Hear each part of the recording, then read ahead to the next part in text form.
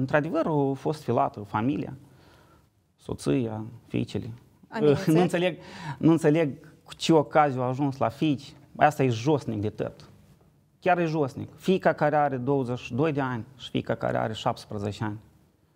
Știți, e dureros, dar sincer să vă spun, am rezistat. Chiar când am, chiar când am, pregăteam și interviul ăsta pentru ziarul de gardul, soția îmi spunea că poate nu trebuie.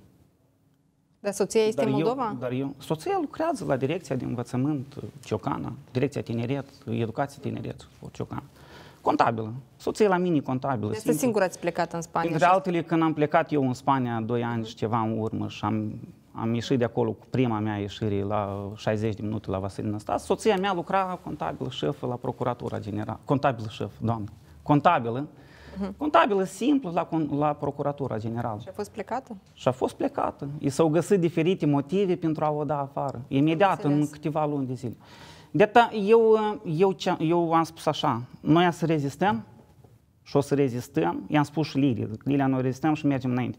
Dar lor la tăți, sincer, permanent le-am spus că le doresc sănătate.